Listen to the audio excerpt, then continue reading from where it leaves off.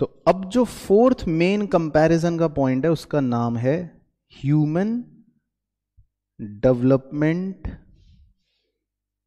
Indicators अब हम एक दूसरे से जब बातें करते हैं तो जैसे क्लास में दो तीन बच्चे जब आपस में कंपैरिजन करते हैं तो वो कहते हैं, भाई इकोनॉमिक कंपैरिजन तो बहुत हो गया। तुम कह रहे हो तुम्हारे पास आईफोन है, मैं कह रहा हूँ मेरे पास सैमसंग गैलेक्सी है। तुम कह रहे हो मेरे पास गाड़ी है, मैं कह रहा हूँ मेरे पास स्कूटर है। कह रहे, अब हम ये सब कंपैरिजन नहीं करेंगे। अब हम कैसा कंपैरिजन करेंगे? मतलब बच्चों वाली भाषा में तो कोई, तुम बताओ तुम्हारे मैथ्स में कितने मार्क्स आए?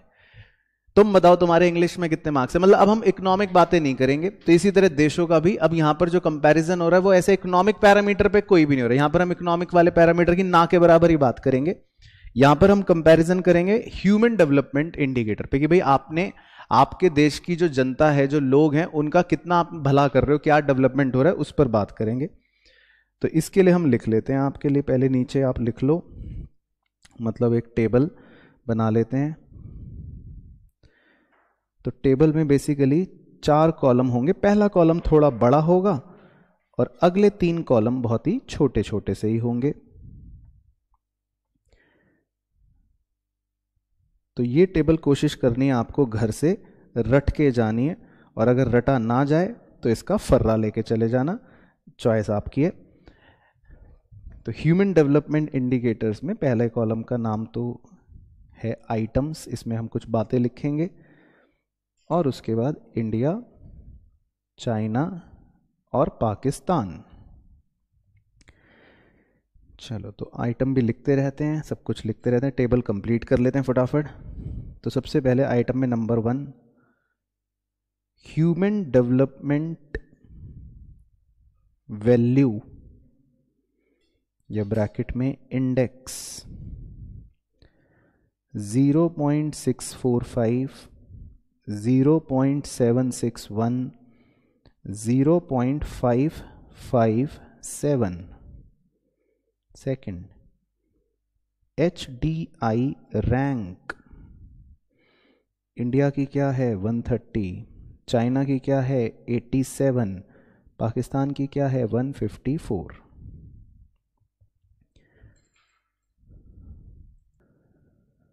चलो तो पहले मैं इनकी बात कर लेता हूँ। तो बच्चों ह्यूमन डेवलपमेंट वैल्यू या ह्यूमन डेवलपमेंट इंडेक्स क्या है बेसिकली ह्यूमन डेवलपमेंट को नापने के बहुत सारे पैरामीटर्स होते हैं। वो पैरामीटर्स तो हमको नहीं पढ़ने, खैर। उन पैरामीटर्स के आधार पे अलग अलग देशों को वैल्यू दी जाती है कि भाई इस पैरामीटर में आपकी क्या वैल्यू और वो जो पैरामीटर होते हैं, जो बिल्कुल ही वाहियात होगा, उसकी वैल्यू होगी ज़ीरो मतलब कि भाई आपके यहाँ ह्यूमन डेवलपमेंट की वैल्यू क्या है? ज़ीरो है, बिल्कुल कुछ भी नहीं है, कोई डेवलपमेंट नहीं है।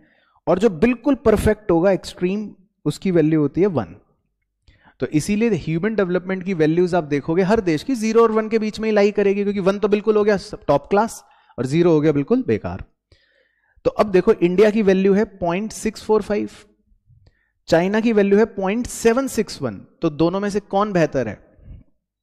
चाइना और पाकिस्तान की वैल्यू है 0.557 तो इसका मतलब ये तो इंडिया से भी बेकार है। तो इसी के आधार पे देशों की रैंक तय होती है। इसी के आधार पे देशों की क्या तय होती है? रैंक। तो अगर आप ध्यान से देखोगे रैंक तीनों के कंपैरिजन में तो इसलिए चाइना की रैंक सबसे बढ़िया है। उसकी रैंक 87 है। इंडिया की रैंक थोड़ी चाइना से बेकार है 130 है। और पाकिस्तान की रैंक सबसे बेकार है 154 है। तो इसीलिए इन्हीं वैल्यूज़ के आधार पे देशों की रैंक बन जाती है। तो पहले ये दोनों क्लियर हो गए।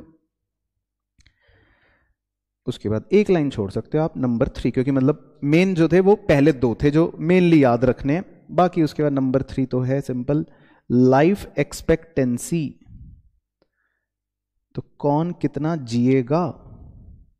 ब्रैकेट में इन ईयर्स तो भारत में लाइफ एक्सपेक्टेंसी है 69.7 चाइना में है 76.9 पाकिस्तान में है 67.3 उसके बाद number four mean years of schooling bracket में एजिड 15 और अबव इंडिया में है 6.5 चाइना में है 8.1 पाकिस्तान में है 5.2 अब मीन ईयर्स ऑफ़ स्कूलिंग क्या होता है भाई?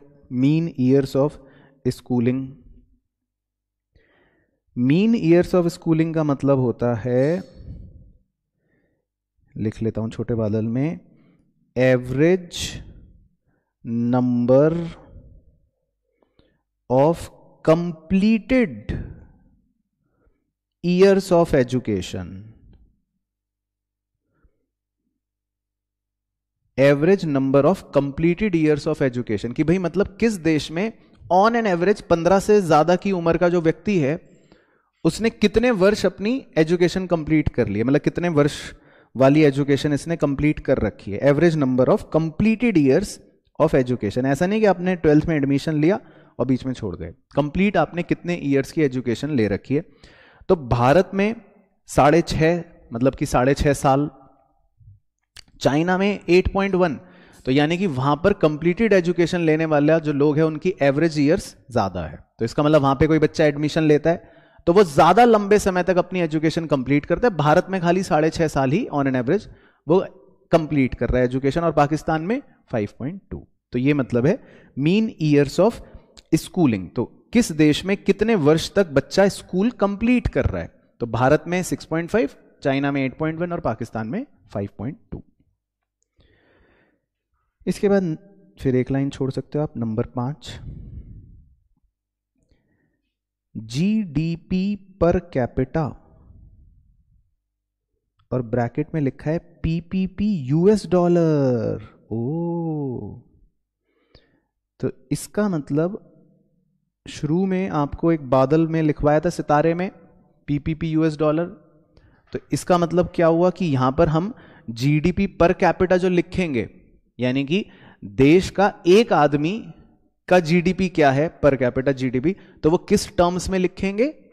डॉलर के टर्म में, है ना? क्योंकि सारे देशों की हमने बताया था परचेजिंग पावर पैरिटी करनी पड़ती है सेम तो वो लिख लेते हैं। तो इंडिया की है जी six six eight one China की बताओ। सोलह हज़ार सत्तावन। One six zero five seven और पाकिस्तान की पाँच हज़ार पाँच। तो ये डॉलर है बेसिकली उसके बाद नंबर छ। People below poverty line.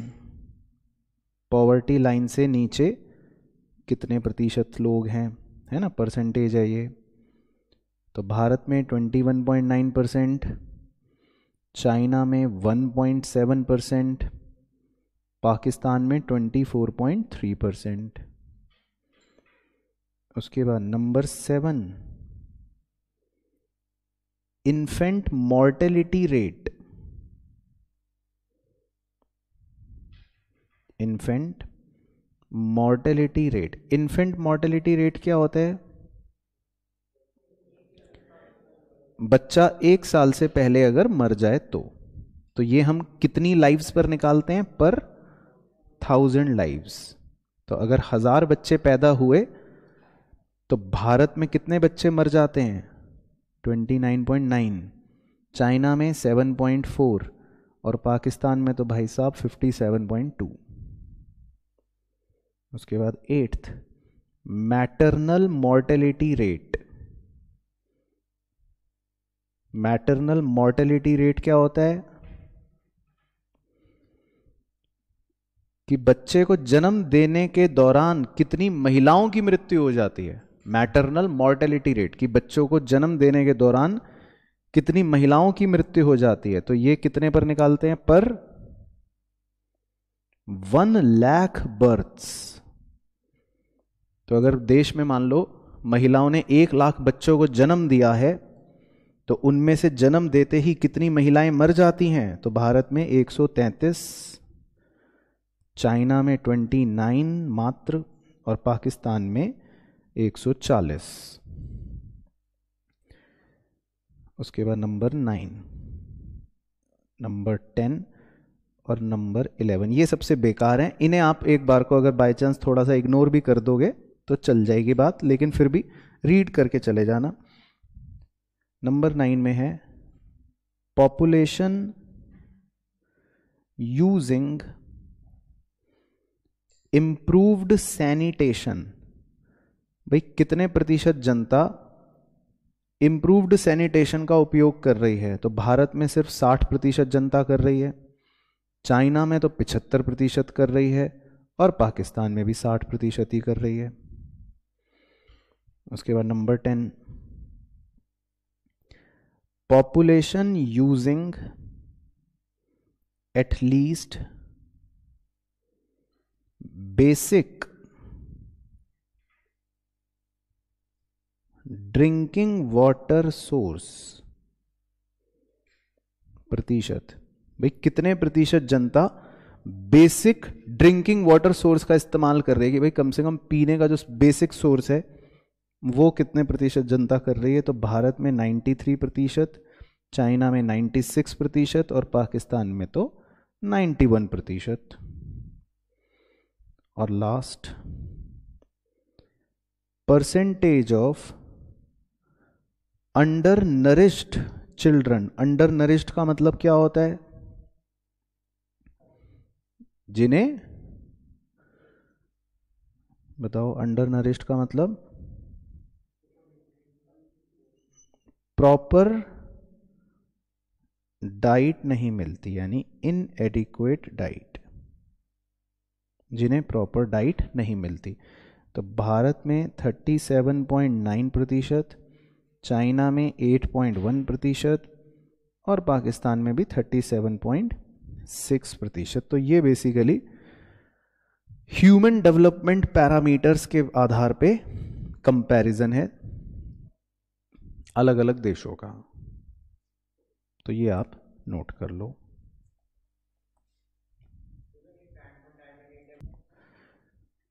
तो इसमें कुछ अंग्रेज़ी नहीं लिखनी बच्चों, क्योंकि अंग्रेज़ी कुछ है नहीं। बस एक बार लेकिन देख लो। तो आपके लिए इसमें सबसे ज़्यादा इंपॉर्टेंट कौन से हैं? ऊपर के दो। थोड़े से कम और मीडियम इंपॉर्टेंट कौन से हैं? तीन से लेके आठ तक। ये मीडियम मीडियम है। और जो बिल्कुल बेकार है मतलब जो आपको अगर बाद में लगे, चलो छोड़ दो, ये नहीं मैं पढ़ के जाऊँगा एग्ज़ाम में तो लास्ट के तीन है। अच्छा अब एक बार ये बता दो, पीला और नीला हाईलाइट कर लेते हैं। रैंक तो चलो वैल्यूज़ के हिसाब से ही हो गई तो पीला नीला तो हो ही गया। लाइफ एक्सपेक्टेंसी में सबसे बढ़िया कौन? चाइना सबसे बेकार कौन? पाकिस्तान। मीन स्कूलिंग ईयर्स कितने बच्चों ने अपनी एजुकेशन कंप्लीट कर ली स्कूलिंग की? उसमें सबसे बढ़िया कौन? चाइना। सबसे बेकार कौन? पाकिस्तान। उसके बाद जीडीपी पर कैपिटा डॉलर की टर्म्स में, कि एक आदमी के ऊपर कितना जीडीपी आ रहा है। तो सबसे बढ़िया कौन? चाइना। सबसे बेकार कौन? Pakistan. People below poverty line कितने प्रतिशत जनता पॉवर्टी लाइन के नीचे है? सबसे बढ़िया कौन? चाइना क्योंकि भाई पॉवर्टी लाइन से जितना कम होगा उतना अच्छा है ना? और सबसे बेकार कौन? पाकिस्तान, क्योंकि उनके यहाँ 24.3 परसेंट लोग गरीबी की रेखा के नीचे हैं। उसके बाद इन्फेंट मॉर्टेलिटी रेट बच्चे मर रहे हैं, हज़ार बच्चे पैदा हुए तो चाइना में सिर्फ़ 7.4 बच्चे ही मरे तो सबसे बढ़िया है। और पाकिस्तान में हज़ार बच्चे पैदा हुए तो 57.2 बच्चे मर गए। उसके बाद मैटरनल मॉर्टेलिटी रेट एक लाख बच्चों को जन्म देने के बाद चाइना में सिर्फ़ उनतीस महिलाएँ मरी हैं, जबकि पाकिस्तान में 140 महिलाएँ मर गई हैं तो सबसे बेकार कौन? पाकिस्तान। तो कितना इजी हो गया? बाकी लास्ट के तीन छोड़ दो, वो बेकार ही हैं वैसे। तो उसमें भी आप देखोगे तो चाइना तीनों में ही सबसे बढ़िया है। तो मतलब पूरी टेबल में चाइना को पीला ही कर देते हैं और पाकिस्तान को नीला कर देते हैं तो हमारा इजी हो जाएगा कंपैरिजन तो हम चाइना से कम अच्छे हैं ह्यूमन डेवलपमेंट इंडिकेटर में, और पाकिस्तान से थोड़ा सा बेहतर है. तो क्लियर हो गया ह्यूमन डेवलपमेंट इंडिकेटर तो हो गए ये. तो कितने हो गए आपके? चार हो गए ना कंपैरिजन में? ठीक है तो अब इसके नीचे एक सितारा है, अलग कहानी वाला. इसका नाम है लिबर्टी इंडिकेटर्स तो ये कोई मेन टॉपिक नहीं है, लेकिन एक छुटकू सा स्टार पॉइंट है तो इसीलिए अलग से लिख रहे हैं। तो पहले लिखते हैं, फिर समझाता हूँ। लिबर्टी इंडिकेटर्स तो इसमें लिखना है। लिबर्टी इंडिकेटर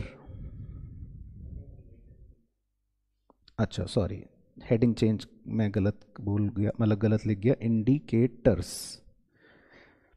तो स्पेलिंग सही कर देना। लिबर्टी इंडिकेटर्स में liberty indicator may be defined as the measure of extent of demographic participation demographic participation in social, इसमें एक तो कीवर्ड है सोशल, इसको बादल बना लो। एंड पॉलिटिकल, दूसरा कीवर्ड है पॉलिटिकल, इसको बादल बना लो। Social and political decision making. Social and political decision making, full stop. Examples dash डाल के ए। Measures of the extent of the constitutional protection rights given to citizens. Or B extent of the constitutional protection of independence of the judiciary and rule of law तो sir, ये कौन सा civics का lecture शुरू हो गया बीच में हमारा? लिबर्टी इंडिकेटर ये क्या छुटकू सा पॉइंट है?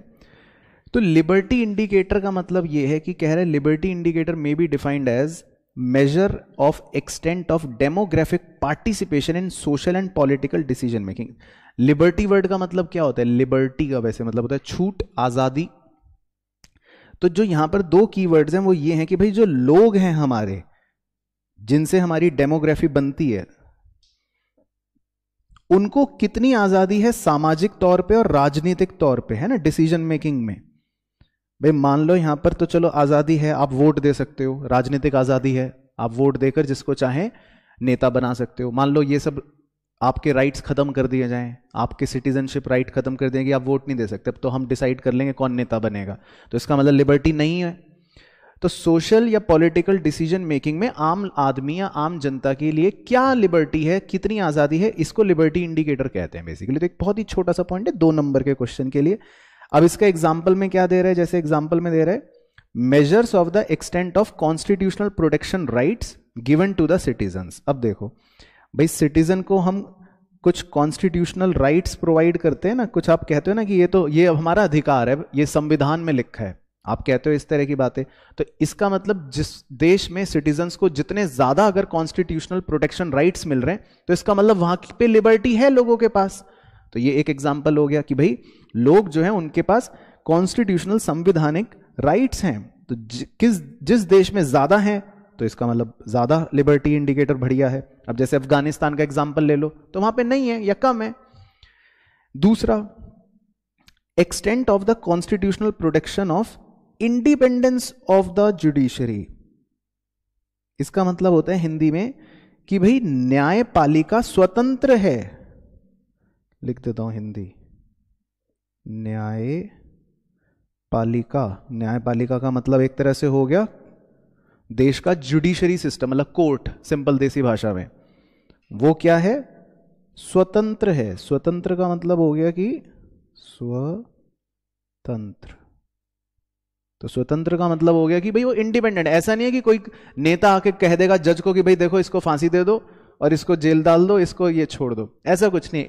कोर्ट जो है, कानून जो है जुडिशरी जो है, वो क्या है? इंडिपेंडेंट है। तो जिस देश में जितनी जुडिशरी को इतनी इंडिपेंडेंस की आज़ादी होगी, इसका मतलब वहाँ पर उतने बढ़िया लिबर्टी इंडिकेटर्स हैं। तो ये कुछ उदाहरण दे दे रहा है लिबर्टी इंडिकेटर्स के। तो ये भी मतलब एक पैरामीटर होता है, देशों का अगर हमें कंपैरिजन करना हो। तो जैसे भारत है तो भारत को हम इसमें कह सकते हैं कि अच्छे इंडिकेटर्स हैं as compare to Pakistan. Pakistan में शायद इतनी लिबर्टी ना हो, वहाँ पे मिलिट्री का ज़ोर ज़्यादा रहता है तो ऐसा हम कह सकते हैं। तो ये भी कुछ इंडिकेटर्स होते हैं अपार्ट फ्रॉम इकोनॉमिक या ह्यूमन डेवलपमेंट इंडिकेटर्स चलो तो बेसिकली चैप्टर के चारों इंडिकेटर्स खत्म हो गए। मैंने कहा था ना कि चार इंडिकेटर्स पे हम लड़ाई करते हैं, तीनों देशों की। तीन तो इकोनॉमिक होते हैं, और एक था ह्यूमन डेवलपमेंट तो बस अब जो लास्ट हमारा टॉपिक होता है मेन टॉपिक उसको आप फ्रेश पेज पर ही लिख सकते हो। वो होता है कि अब हम फाइनली कॉन्क्लूड करेंगे तो बेसिकली चैप्टर भी कॉन्क्लूड होगा और पूरा इंडियन इकोनॉमी भी कॉन्क्लूड हो जाता है कि भाई क्या है अप्रेजल तीनों की अपनी अपनी कहानियों का। तो इंडिया का तो खैर अप्रेजल हम पूरी पढ़ते ही हैं, शुरू से लेकर एंड तक। तो मेन चाइना और पाकिस्तान के बारे में हम कुछ लिखेंगे। तो हमारी हेडिंग बन गई अप्रेजल ऑफ़ डेवलपमेंट स्ट्रेटजीज तो बस हमें चाइना और पाकिस्तान के बारे में दो चार दो चार बातें लिखनी है मेनली तो कि भाई इनकी जो भी स्ट्रेटजी रही चाइना की या पाकिस्तान की, उसको हम अप्रेज कर रहे हैं, उसको हम मतलब इवेल्युएट कर रहे हैं कि कैसा रहा। तो आप इसमें ऐसा लिख लो सबसे पहले। Main centre of the page China तो पहले हम चाइना के बारे में बातें लिख लेते हैं। तो फ़र्स्ट एरो डाल के। China did not have any compulsion to introduce reforms like India or Pakistan. Second arrow. But some adverse situations, but some adverse situations of the economy prior to 1978 comma forced china to go to reforms. Force China to go to reforms. Third arrow. Pre reform period इसको आप highlight कर लेना China के लिए pre reform period इसमें पहली बिंदी डाल के there had been massive extension of basic health services in rural areas दूसरी बिंदी through commune system through commune system there was more equitable there was more equitable distribution of food grains तीसरी बिंदी despite GLF and other initiatives comma per capita output in 1978 was the same as it was in mid 1950s और इसके बाद चौथी और आखिरी बिंदी in 1978 the government of China the government of China was not satisfied the government of china was not satisfied with slow pace of economy with slow pace of economy comma they felt that maoist vision had failed full stop as a result reforms were introduced in 1978 चलो तो पहले एक बार इतना discuss कर लेता हूँ मैं आपके साथ फिर क्योंकि आगे इसी का कंटिन्यूएशन होगा ना तो देखो, शुरुआत अभी हम चाइना के अंदर ही थे तो हमने शुरुआत तो ऐसे करी कि भाई, चाइना के ऊपर ना कोई कंपल्शन नहीं था रिफॉर्म्स लाने का। जैसे इंडिया पर तो कंपल्शन था कि वर्ल्ड बैंक की शर्तें माननी है पाकिस्तान के ऊपर भी कंपल्शन था कि वर्ल्ड बैंक की शर्तें माननी है। तो चाइना के ऊपर कोई कंपल्शन नहीं था तो पहली शुरुआत तो यहीं से हुई कि इनके ऊपर कोई कंपल्शन नहीं था। लेकिन फिर भी इनकी हालात जो थे वो 1978 तक आते आते थोड़े खराब हो गए थे, कुछ और एडवर्स सिचुएशंस हो गए थे। अगर आप लिंक करो तो मैंने बताया भी था, पहले जीएलएफ आया था 1965 के दौरान, फिर वो सूखा आ गया तो वो खत्म हो गया। फिर माओ कल्चरल रिवॉल्यूशन लेकर आया 1968 के आसपास बट वो 1976 में जब माओ की मृत्यु हुई तो वो भी खत्म हो गया। तो देश के हालात जब इतने बिगड़ गए तो 1978 में फिर चाइना ने सोचा कि अब तो हमें रिफॉर्म लाने पड़ेंगे। अब प्री रिफॉर्म पीरियड का मतलब है कि रिफॉर्म से पहले के टाइम पर क्या हालात थे चाइना के? तो बस चार इसमें जो बातें लिखी हैं, उसके कीवर्ड्स बता देता हूँ। कि भाई, एक तो हेल्थ सर्विसेज़ जो थी रूरल एरियाज़ में, उनको काफ़ी बढ़ चढ़कर बढ़ाया गया, उनको काफ़ी एक्सटेंड करा गया। दूसरा आपने पढ़ाई था शायद, अगर आपको याद हो कॉम्यून सिस्टम्स की वजह से जो फ़ूड ग्रेन्स था, उसका डिस्ट्रीब्यूशन काफ़ी इक्विटेबल रहता था। इक्विटेबल का मतलब है कि सबको बराबर मिल जाता था। ऐसा नहीं है कि किसी को बहुत ज़्यादा मिल गया, किसी को बहुत कम मिल गया। तो फ़ूड डिस्ट्रीब्यूशन बराबर होता था। बाकी एक गंदा पॉइंट ये कि रिफॉर्म्स वाले पीरियड से पहले अगर हम बात करें तो चाइना का जो पर कैपिटा आउटपुट था 1978 में, वो वही था सेम जो उनका मिड फिफ्टीज में था। यानी कि कोई 20 सालों में कोई बढ़ोतरी नहीं हुई। और इसीलिए देखो, चाइना की सरकार को क्या लगा? कि भाई हमारी इकोनॉमी तो क्या है? बहुत ही स्लो पेस पे काम कर रही है। और उन्हें लगा कि जो मायोइस्ट विजन है मतलब कि जो माओ ने अपनी बातें करी थी, वो सब बेकार है। तो इसीलिए सरकार ने क्या इंट्रोड्यूस कर दिए? रिफॉर्म्स तो चाइना के अंदर 1978 में रिफॉर्म्स आ गए। तो कितने एरो हो गए चाइना के? एक, दो, तीन। एक, दो, तीन। अब जो चौथा एरो है, वो है पोस्ट रिफॉर्म पीरियड काले रंग से पोस्ट रिफॉर्म पीरियड तो अब रिफॉर्म आ गए तो मतलब ऐसा समझ लो बॉलीवुड मूवी में अभी तक हीरो की एंट्री नहीं हुई थी तो उससे पहले की कहानी चल रही थी स्टोरी चल रही थी। अब 1978 में हीरो आ गया तो अब हो गए पोस्ट रिफॉर्म पीरियड तो अब रिफॉर्म आने के बाद क्या हुआ? तो पहली बिंदी पहली बिंदी में लिखते हैं। The various reforms the various reforms led to rapid growth in China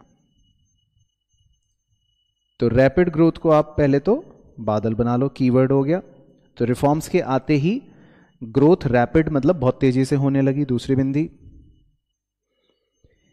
Each reform measure, each reform measure was first implemented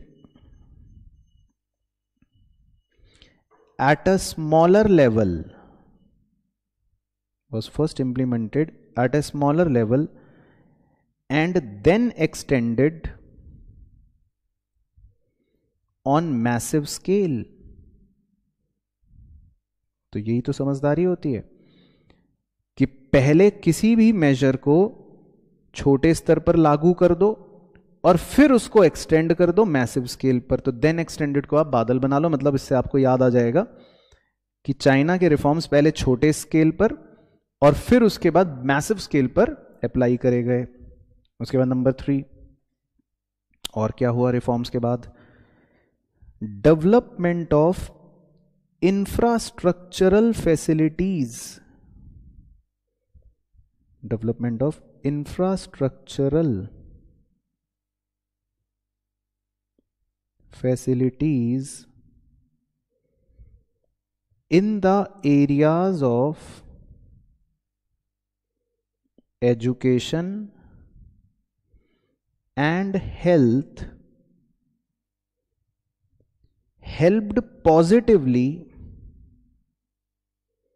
helped positively in improving social and income indicators तो इसमें आप इंफ्रास्ट्रक्चरल फैसिलिटीज़ को बादल बना लो कि भाई China ने reform आने के बाद अपने इंफ्रास्ट्रक्चरल फैसिलिटीज़ पर भी खूब डेवलपमेंट करा, उसमें एजुकेशन और हेल्थ को हाईलाइट कर लेना। तो एजुकेशन और हेल्थ को बहुत उन्होंने डेवलप करा तो इससे कितना फ़ायदा हुआ उन्हें। चौथी बिंदी, agricultural reforms brought prosperity agricultural reforms brought prosperity to vast number of poor people. तो इसमें आप एग्रीकल्चरल रिफॉर्म्स को बादल कर लेना और प्रॉस्पेरिटी वर्ड को हाईलाइट कर लेना। तो मतलब ये बेसिकली पूरा चाइना का लेखा जोखा फिनिश तो अब देखो, चाइना की पूरी स्टोरी अगर समअप करूँ, लिख लिए चारों पॉइंट तो देखो, चाइना पे पूरा एक क्वेश्चन पाँच नंबर का पूछ लेता है तो आपको अच्छे से कहानी में आंसर बना के लिखना पड़ेगा। देखो, बहुत ही सिंपल स्टोरी है, इसको स्टोरी की तरह लेना। तो चाइना की ही डेवलपमेंट स्ट्रेटेजी को अप्रेज करने को काफ़ी बार क्वेश्चन पूछता है। तो आप ये कहोगे कि पहली बात तो चाइना के ऊपर कोई कंपल्शन नहीं था रिफॉर्म लाने का। लेकिन 1978 से पहले कुछ हालात ऐसे हो गए कि उन्हें रिफॉर्म लाने पड़े। तो रिफॉर्म से पहले क्या बातें थी? चार बातें थी। हेल्थ सर्विस रूरल एरिया में उन्होंने बहुत फैला दी थी। अच्छी बात है। ये अच्छा पॉइंट है। इसके अलावा कॉम्यून सिस्टम की वजह से लोगों को बराबर फ़ूड ग्रेन का डिस्ट्रीब्यूशन होता था। ये अच्छा पॉइंट है।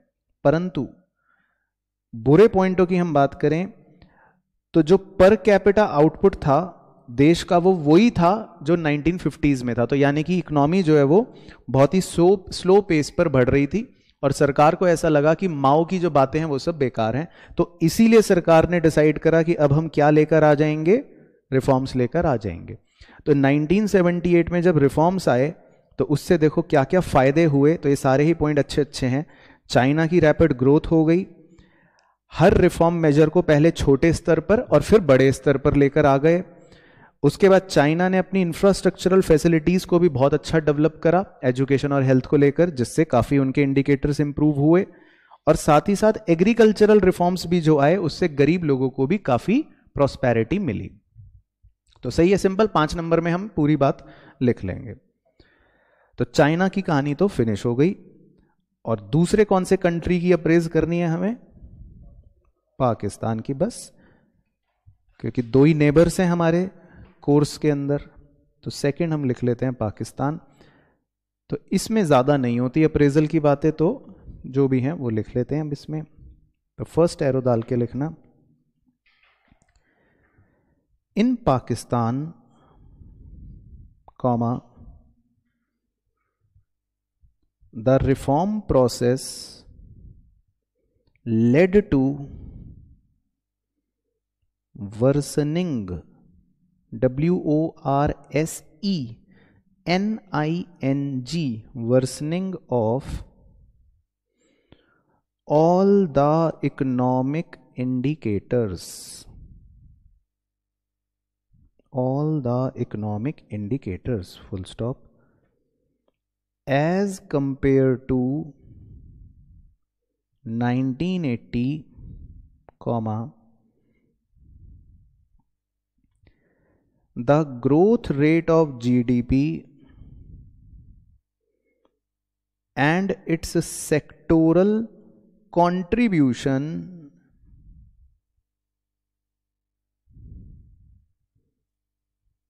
decrease in nineteen nineties तो पहली बात तो इसी में ही हाईलाइट कर लेते हैं।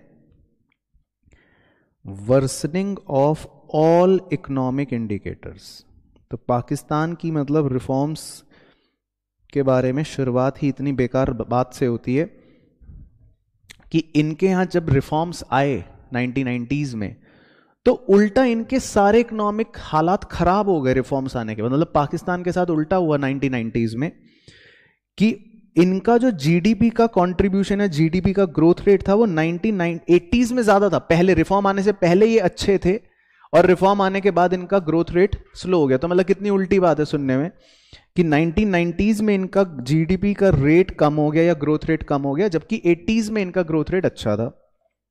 सेकंड पॉइंट सेकंड एरो में लिखना है। The proportion the proportion of poor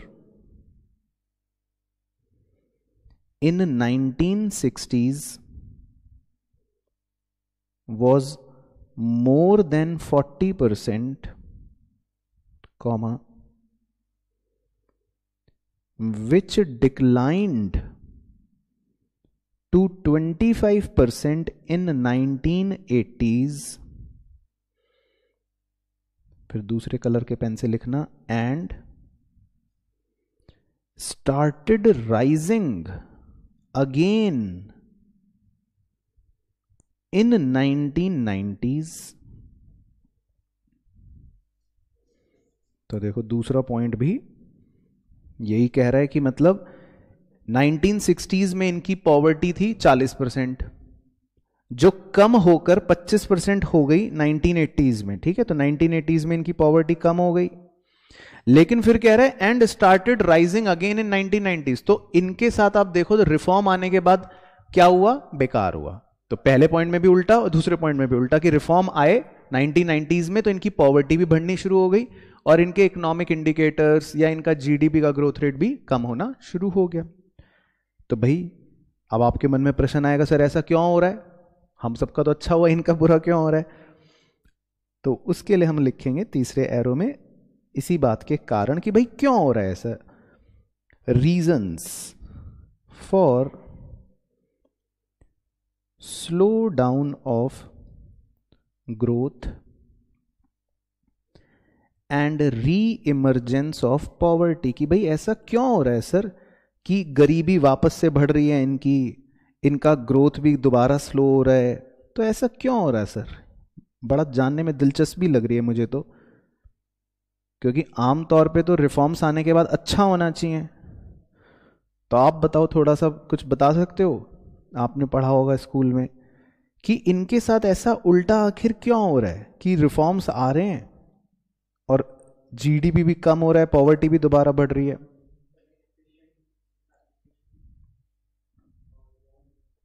war military involvement ज़्यादा है। और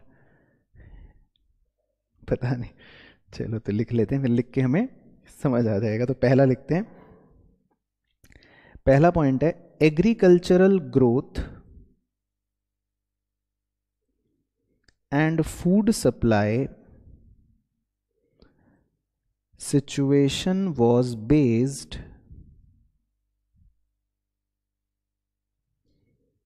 on good harvest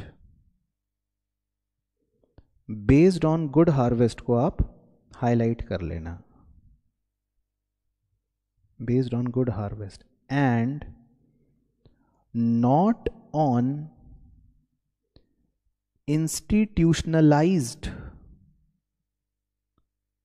not on institutionalised process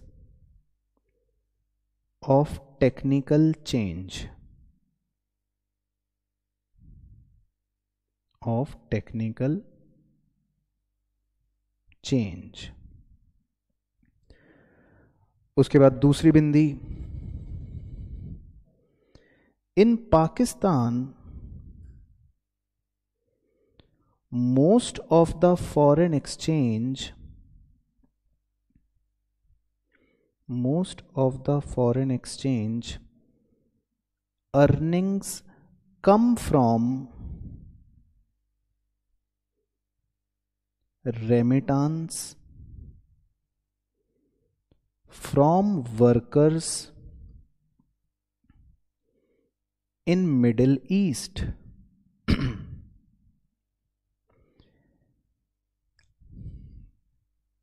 and exports are highly volatile and exports are highly volatile तो इसमें आपको लिखना है हाईलाइट करना है। रेमिटांस फ्रॉम वर्कर्स को और एक्सपोर्ट्स आर हाईली वॉलेटाइल को।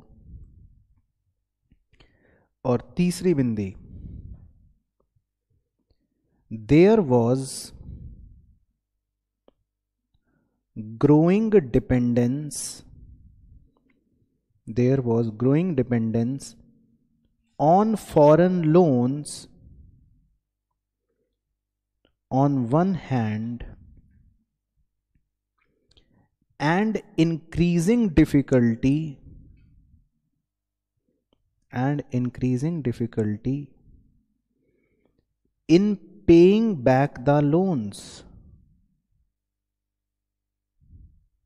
on the other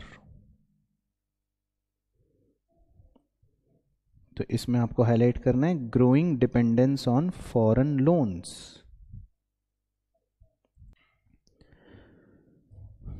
चलो तो अब देखो रीजन क्या है है ना? तो पाकिस्तान की अगर हमें रिफॉर्म्स का अप्रेजल करना हो तो उसमें हम शुरुआत क्या करेंगे दो पॉइंट से? कि रिफॉर्म आने के बाद इनके इकोनॉमिक इंडिकेटर बेकार हो गए जीडीपी ग्रोथ रेट कम हो गया पॉवर्टी वापस से बढ़ गई। तो फिर मुद्दा ये आता है, क्यों ऐसा हुआ? अब रीजंस देखना, ध्यान से, तीन ही रीजन है, कोशिश करना तीनों याद रहे, बहुत ही बढ़िया रीजन है। पहली बात तो ये कि भाई, ये जो लोग थे पाकिस्तान में, एग्रीकल्चरल जो ग्रोथ थी या फ़ूड सप्लाई जो भी होता था देश के अंदर, वो बेस्ड होता था on good harvest good harvest का मतलब है कि अगर फ़सल अच्छी हो गई तो फिर सब कुछ अच्छा हो गया.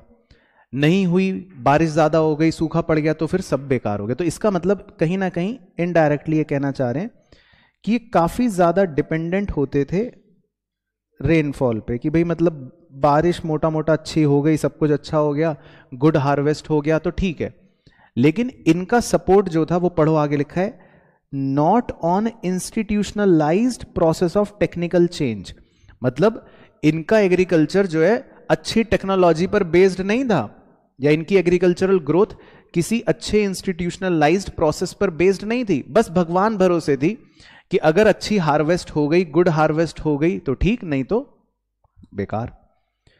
दूसरा पॉइंट अब किसी भी कंट्री के अंदर फॉरेन एक्सचेंज जो होता है, वो कहाँ से कमाया जाता है? उसका मेजर सोर्स क्या होता है? किसी भी कंट्री के अंदर। आपने मैक्रो में बैलेंस ऑफ़ पेमेंट पढ़ रखा है ना?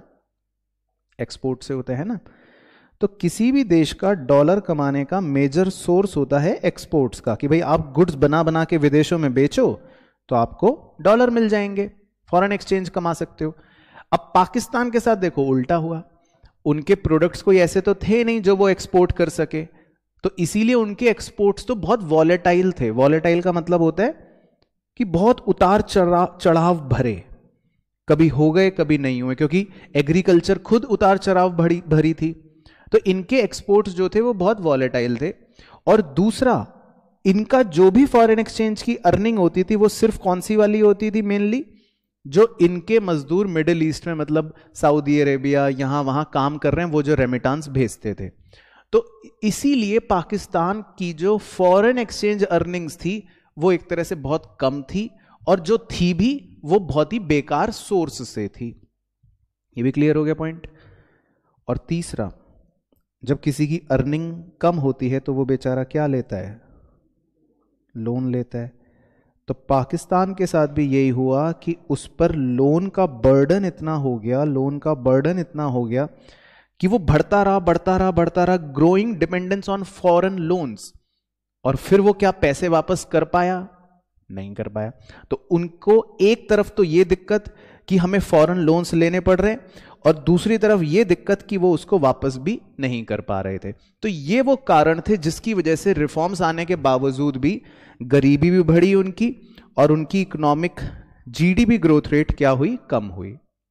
तो क्लियर हो गया? बस, फिर इसकी एंडिंग हम एक सितारे के साथ कर देते हैं तो फिर पाकिस्तान का भी आंसर समाप्त हो जाता है। तो सितारे में ये लिखना है बस हमको however during the last few years पिछले कुछ वर्षों में comma Pakistan has recovered its economic growth and has been sustaining and has been sustaining तो इसका मतलब ये कि बीते कुछ वर्षों में पाकिस्तान ने रिकवर तो करा है तो उसकी अब इकोनॉमिक ग्रोथ भी ठीक हो गई है और वो सस्टेन भी कर रही है।